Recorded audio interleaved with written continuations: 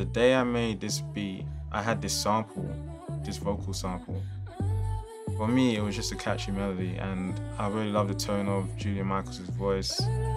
I don't know, I think it was just something spoke to me, I guess, and I thought that it would be cool to just flip it and make a track around it.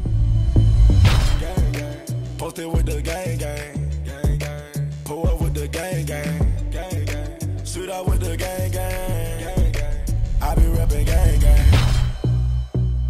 The sample actually comes from a song I did with Julia Michaels like three years ago. The sample was from the bridge section and I really loved the melody and I always planned on using it in a track or a beat.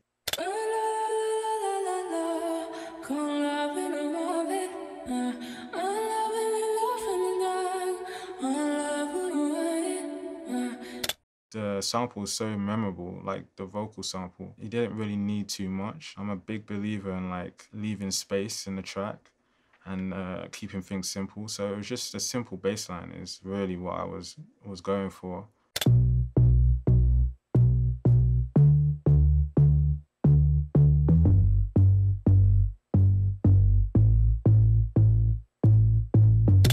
I got that from a synth called Sylenth. I think it just worked really well with the vocal and it turned what was a ballad into something you could play in a club. I just gave it more rhythm.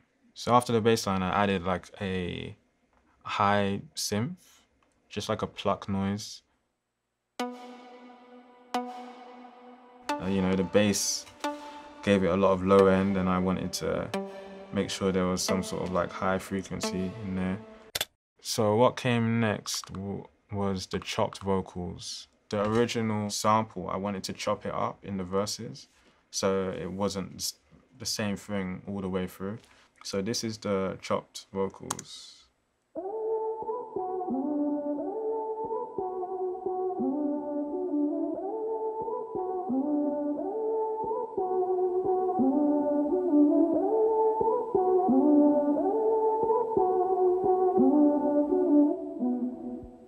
After the chopped vocal, I added the same bass line for the verse, but I've just switched the sound to a slightly more aggressive bass sound. I just wanted to make sure there was some sort of switch up between the two basses. It's exactly the same bass line, but it adds a bit more bite to the track.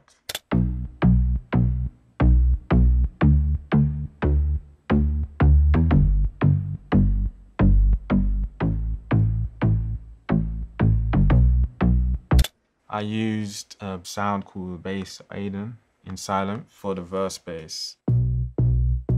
And for the chorus bass, I used a bass sound called Walkabout. So after the second bass, I just added like a basic snap. It just made sense to add the snap. It just fit the, the overall vibe of the track. So once I had all that, I wanted to move on to the drums. The percussion loop was from like a random pack that I found. I thought it sounded pretty cool, so I added it to the track. And then we have the kick. I think after adding everything else, that was the one thing it was missing. I think it gave the track a bit more bounce.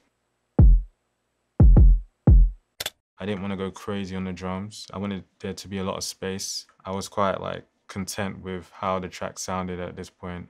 So this is what it all sounds like together.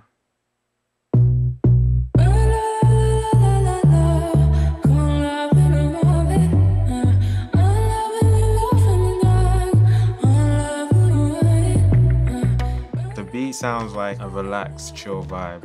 Maybe it's like the summer, you're chilling with your friends or like cruising in a car. It's just like a very chill, laid back kind of vibe. Me and Murda linked up and he came down to my studio. We worked on a few ideas. I was playing him a few things. I didn't actually mean to play him this, so I actually played it by mistake and he heard it and then said, what was that? And so I pulled it up and then he added his percussion and his his hats and stuff and his kicks. I really liked it. I liked what he was doing. It sounded cool. We kept it very simple.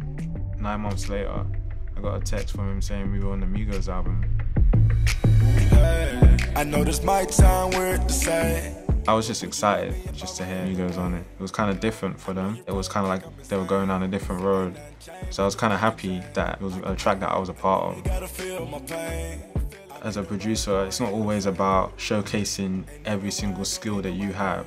Sometimes it's about scaling back and letting the artist do what they want to do over the track.